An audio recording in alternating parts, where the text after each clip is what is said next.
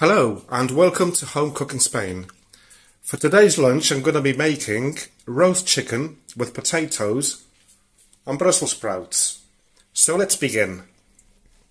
So the first thing that I'm going to do is turn this stove on. Come on. Oh, there it is. I'm going to turn it on full whack and I'm going to add a stock cube, meat one, doesn't matter, meat, veg, chicken, just add it there. Come on. And I'm going to add the water. And I just want to bring that to the boil so that the stock cube dissolves. Right, I've got another pan here, which I'm going to put my few Brussels sprouts. And I've added some water and a bit of salt. And I'll leave that for later on towards the end. And while I wait for the water to boil, I'm going to put my two chicken bits here.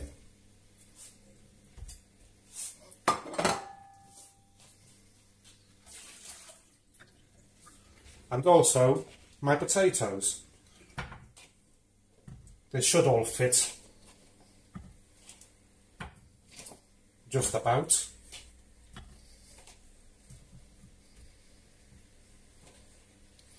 Yep. It will fit better later on because the chicken will probably shrink a little bit. I'm also going to add my garlic, so I'm going to add five garlic cloves whole and a little bit of salt. I won't add too much because the broth will have some. And now all we've got to do is wait for the broth. Right so the broth is ready. So I'll just pour it over. You probably noticed that I never add oil to my roast dinners.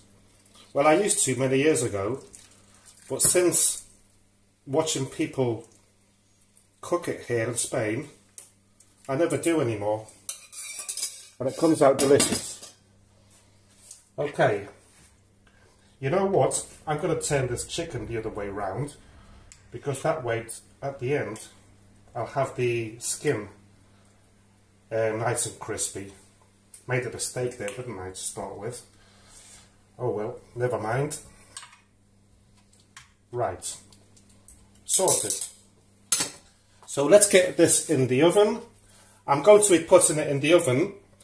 Um, no preheating because I use the fan assisted oven. So I'll put it in the oven at 200 degrees centigrade for 30 minutes.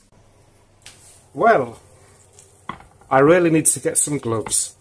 The half an hour is up, so what I'm going to do is move this about. The potatoes and the chicken.